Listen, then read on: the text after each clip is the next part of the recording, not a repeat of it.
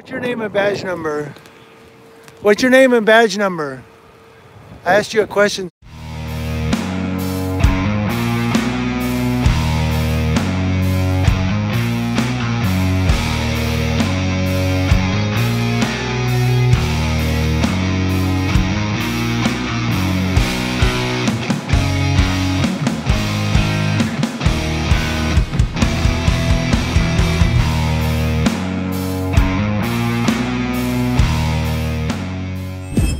Hey guys, I do have a Monday editorial for you. That's right, it's Mad Monday.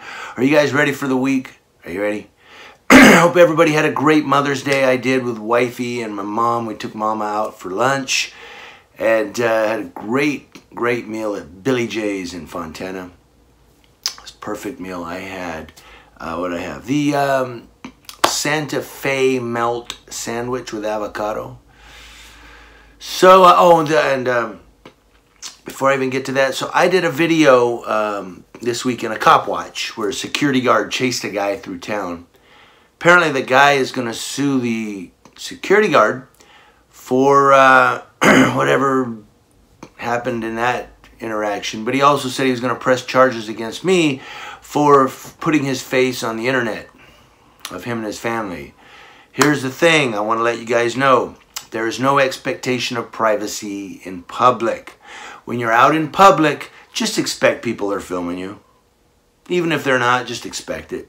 Because in today's social media age, in today's social media, um, I don't know, uh, temperature, people are going to film anything and everything. People are doing video blogs.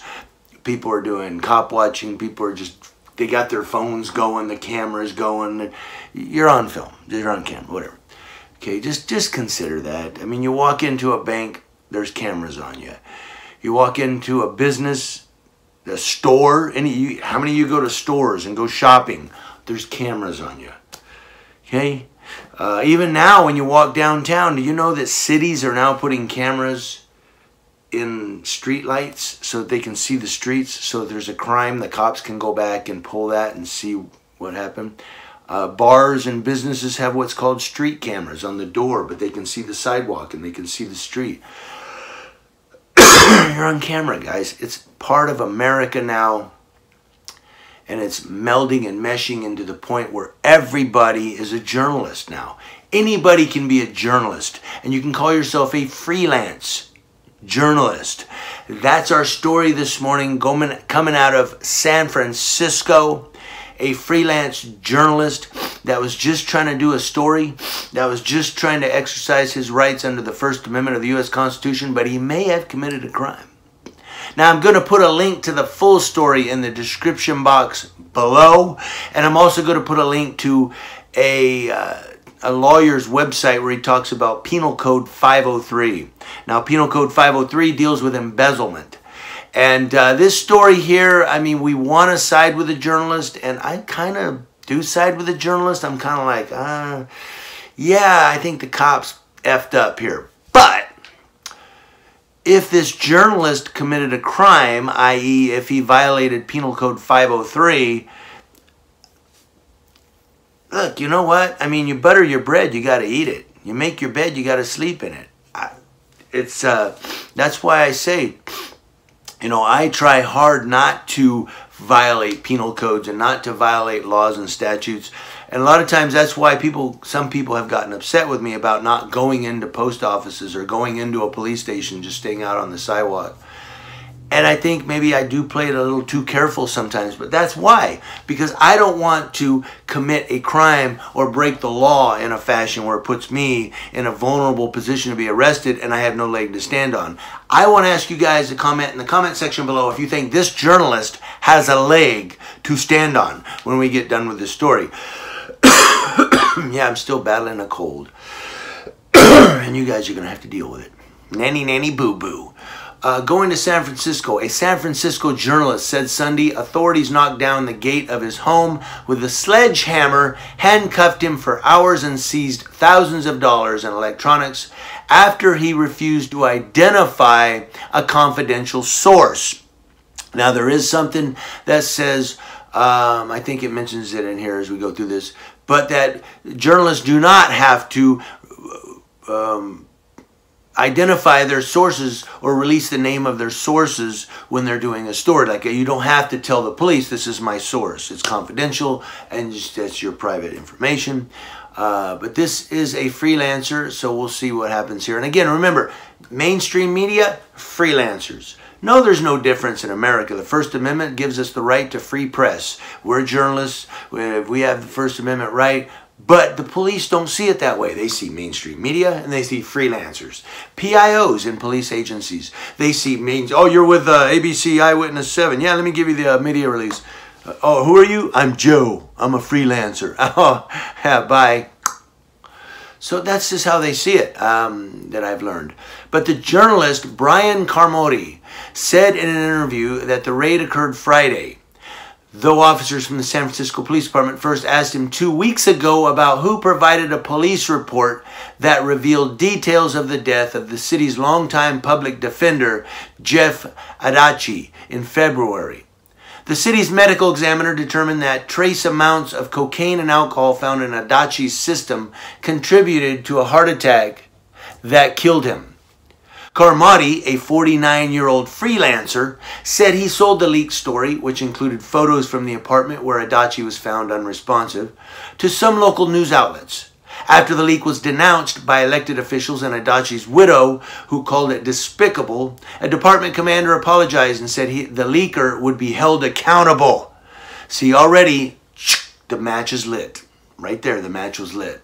When the officers arrived at Carmody's home, he said they asked me to give them the source. Of course, I declined. When authorities returned on Friday, Carmody said officers had a warrant that appeared to say they were looking for the report, which was described as stolen or embezzled property. And that's the question here and there, therein that lies. How did he get the police report? Was it a stolen police report? Was it embezzled? I, you know, and that it was given to him um, in trust that he wouldn't release it, and then he released all the information. It's, it's something to ask yourself. Did this freelance journalist break the law? Uh, did he commit embezzlement? Uh, did he have owned stolen property? Was he allowed to? Was the person allowed to have that police report? Carmody said he was handcuffed for seven hours while officers took his equipment and obtained another warrant to search his office.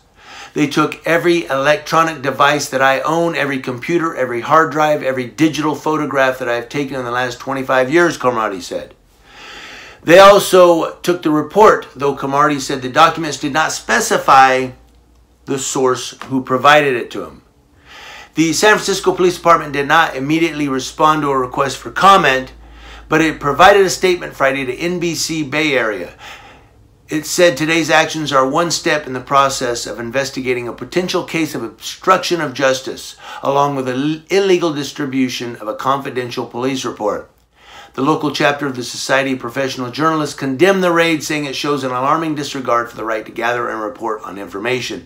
The group said it was seeking more information on why the department did not follow California's SHIELD laws, that's what I was talking about earlier, which protects journalists who refuse to disclose a source's identity.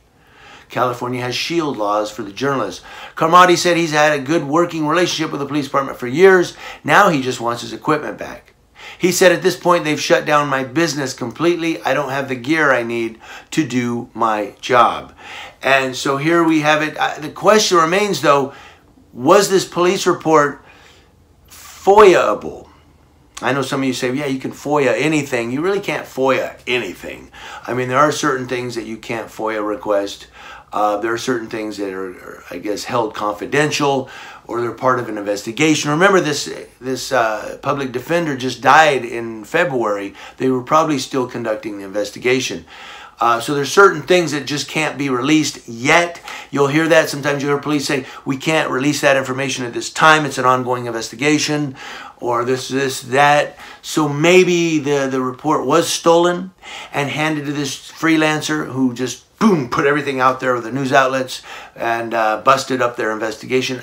There's a lot of questions here. If you guys find out more stuff, you're free to put it in the comment section below. But they're kind of being shady on this. I don't know. The match was lit, though. This guy will be held accountable. I want to know what you guys think in the comment section below. Happy Monday. And remember, always, always, always record the police. Thank you.